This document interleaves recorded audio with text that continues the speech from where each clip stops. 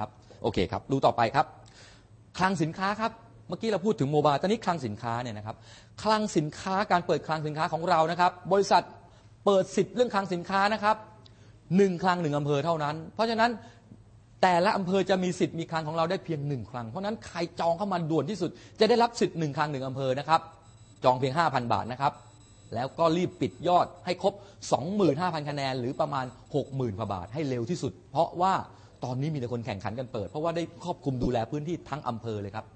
ทุกคนในอำเภอนั้นนะครับ ไม่ว่าจะเป็นสมาชิกทั่วไปลูกค้าผู้บริโภค หรือคนเปิดโมบายเนี่ยเขาจะต้องมาเบิกสินค้าที่คลังอำเภอไอ้คลังอำเภอของเรา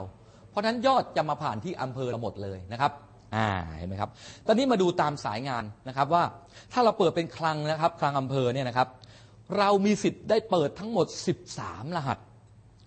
ถ้าเป็นคลังเราเปิด 13 รหัสครับ ถ้าเปิด 13 รหัสนะครับ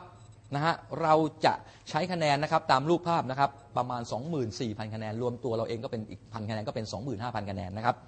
เปิด 25,000 คะแนนรายได้นะครับ ทันทีที่เราเปิดคลังนะครับ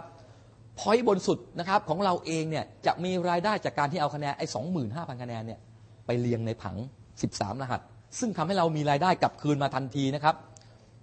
6,300 บาทประมาณนั้นนะครับ ประมาณ 6,300 บาทนะครับมีรายได้กลับคืนมาทันทีเลยนะครับ เพราะฉะนั้นนะครับ